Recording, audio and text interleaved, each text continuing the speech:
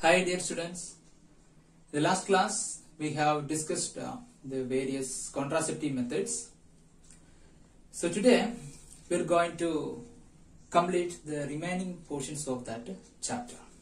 So let's start with uh, the medical termination of pregnancy. Okay. MTP or medical termination of pregnancy. It is otherwise known as induced abortion. It is the voluntary termination of pregnancy before the full term. The voluntary termination of pregnancy before the full term. That is known as what? Medical termination of pregnancy or it is otherwise known as induced abortion. Okay. And in India, it is legalized in 1971. And there is some restriction to check the illegal female feticides. Even though it is legalized, there are some restrictions to check the illegal female feticides. Okay. Then, uh, why do we choose this MTP or medical termination of pregnancy?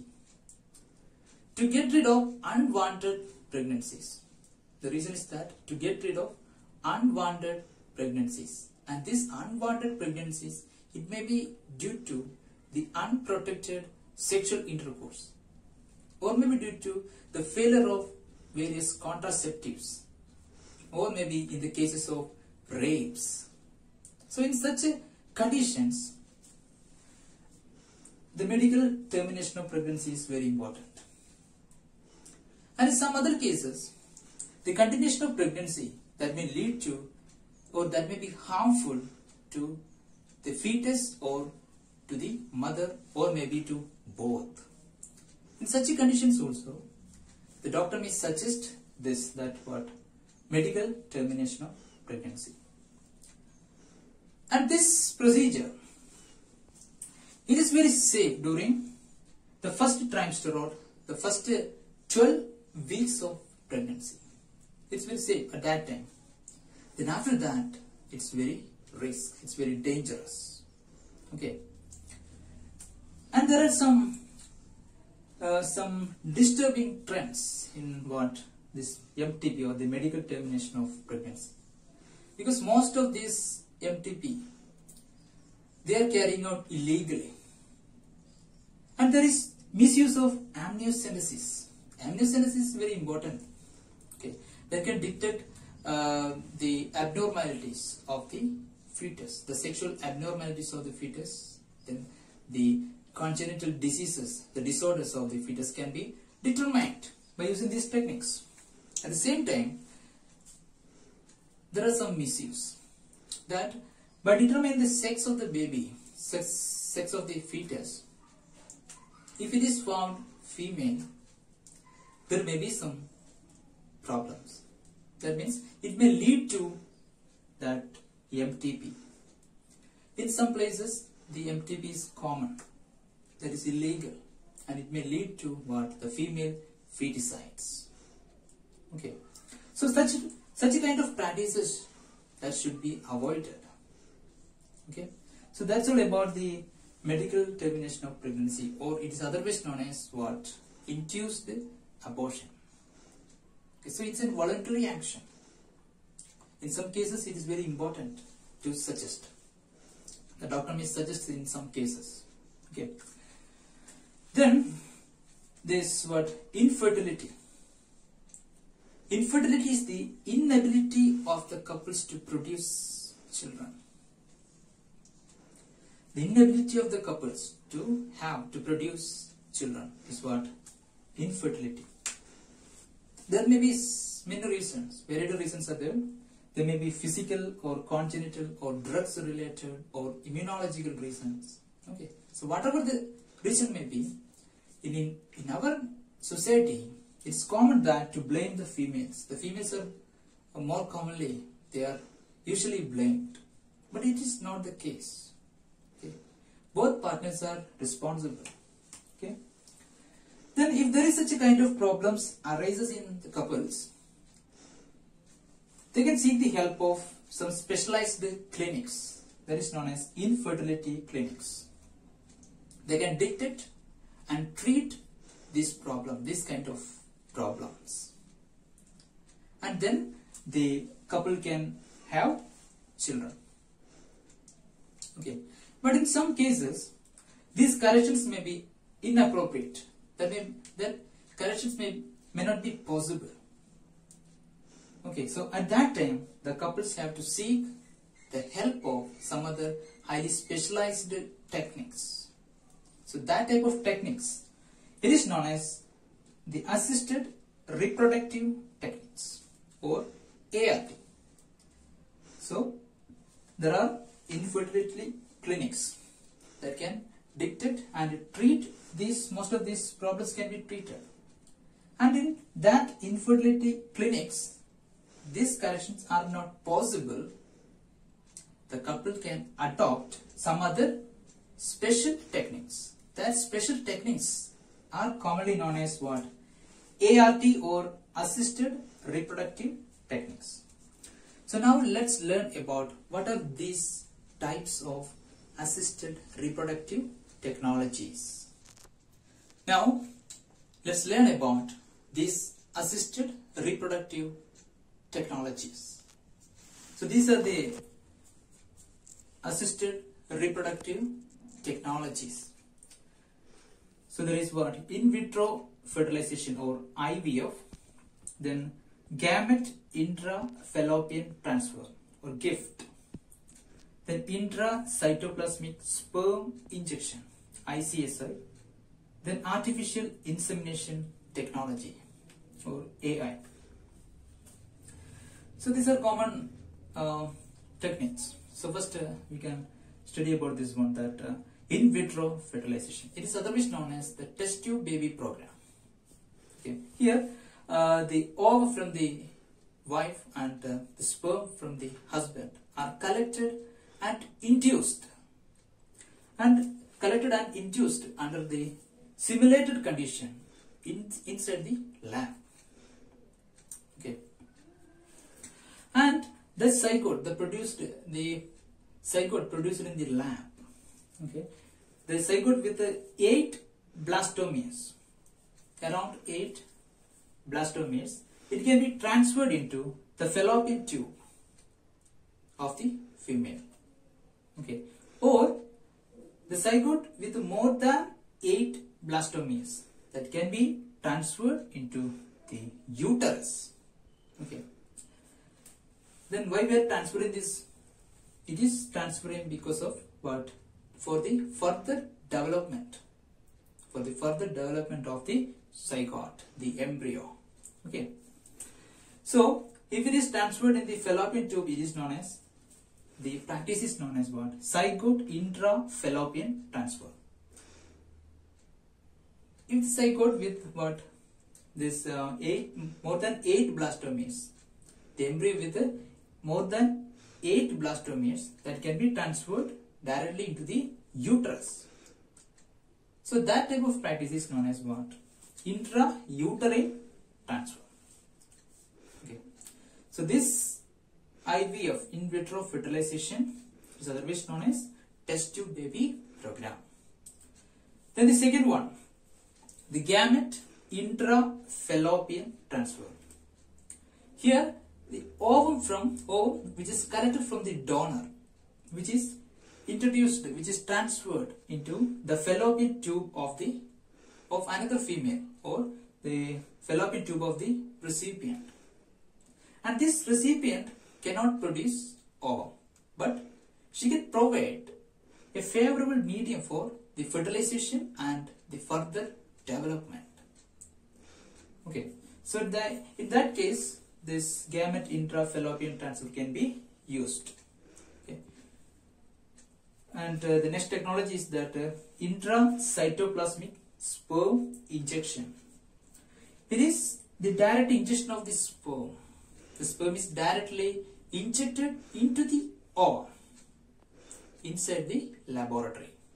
Okay. The last techniques. This artificial insemination, AI technique. Here the semen collected from the husband, it is artificially introduced. The semen collected from the husband, it is artificially introduced either into the vagina or into the uterus of the female. Okay. Okay. And if it is introduced into the uterus, the technique is otherwise known as what? Intrauterine insemination. Okay. So these are the four techniques. Okay. So we have just briefly known this one. Okay. So these are the technologies: in vitro fertilization, gamete intrafallopian transfer, intracytoplasmic sperm injection, and artificial insemination techniques. Now let's go to the last part of this this chapter. That is what the it is related with the, the sexually transmitting diseases. So, what are sexually transmitted diseases? Okay, the diseases which are caused, which are transmitted through the sexual intercourse is known as the sexually transmitted diseases or STDs. It's otherwise known as venereal diseases or reproductive tract infections. So what is STD? These are infections or diseases or disorders that is uh, uh, due to what? The sexual intercourse. Okay. So these are commonly known as what? STDs. There are a number of STDs. Some of the STDs are given here. Gonorrhea, syphilis, genital herpes, AIDS, chlamydiasis, genital warts, trichomoniasis, then hepatitis B. These are some examples. And here, syphilis, chlamydiasis, gonorrhea, these are what bacteria causing. These are caused by bacteria. Then genital herpes, AIDS, then uh, genital warts and uh, hepatitis B. These are caused by virus. And this one, trichomoniasis, it's a protozoan. It is caused by a protozoan. So these are some of the examples of uh, common STDs. And these type of STDs, in the case of AIDS and uh, hepatitis, so some of these uh, STDs, they can be uh, transmitted through blood transfusion. Okay, some other means also that means what? Blood transfusion or through sharing some surgical instruments or from an infected mother to her fetus, to her child. So, in this way also some of the STDs can be transmitted. Okay.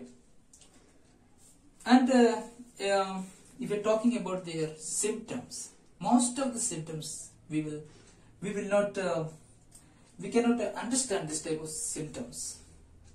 We may mostly neglect this type of symptoms because these are very minor symptoms. Okay, and the early symptoms that may include itching, then slight pain, then swelling, then uh, fluid discharging in the genital area, the genital organs. Okay, you may feel uh, this kind of early symptoms there. But most cases, most uh, most persons they they will not notice it properly, and that may lead to in the later stages that may lead to some uh, extra complications. That may include abortions, stillbirths, or pelvic inflammatory diseases, or ectopic uh, pregnancies, or infertility, or even cancer of the reproductive organs, the genital areas. Okay, so these are what some complications.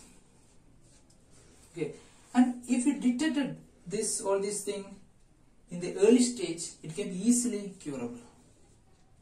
Okay, so these types of um, disorders um, are um, this type of uh, STDs which are having a major consideration in the RCH program. Their detection and their treatment is given a high priority in the RCH programs. Okay, because it may affect our um, our society very badly. Okay, and how can we prevent this type of uh, um, diseases? The sexually transmitted disease can be prevented if it takes some precautions. It can easily prevent.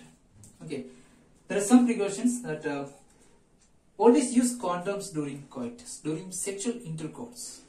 It's important that always use condoms. Then avoid sex with uh, unknown partners or multiple partners. Avoiding sex with unknown partners or multiple partners. Then if there is any doubt, if there is any minor um, symptoms arising, you may just go for early detection and you must take the treatments. Okay, whatever the treatment, it must be taken. Okay, so that's all about uh, the sexually transmitted diseases. Okay, so in this way, we have uh, we are uh, completing this chapter. Okay, so you you have to do one thing that uh, you may read your textbook. Okay, go through that uh, textbook. And if you raise any doubt you must contact me. Okay or you can message me. Anytime you can message. And in the next section we have to start a new unit. It's very very important unit. And it may be a little complicated unit. Okay so anyway we will study. Okay so uh, now I am going to conclude. So you go through your textbook read and read. And if you if you have any difficulty if you find any difficulty there um, you can contact me. Okay? So bye bye